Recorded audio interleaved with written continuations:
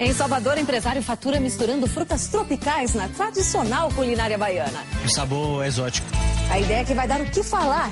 Um livro em que a história paga em dois meses. Quer saber como surgiu o cartão de crédito? Tem também a estreia da série de pai para filho. Tentando ser cada vez melhor. Vamos mostrar como ganhar dinheiro afiando facas e alicates. E o tijolo personalizado que evita o desperdício. Uma empresa que, que tem contribuído para uma construção mais sustentável, né? Domingo, 8 da manhã, grande ideia no SBT.